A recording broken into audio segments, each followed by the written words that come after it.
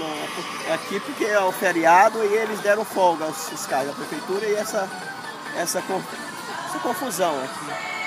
As pessoas não podem nem circular e a gente deixa de vender porque não, os clientes simplesmente não vêm.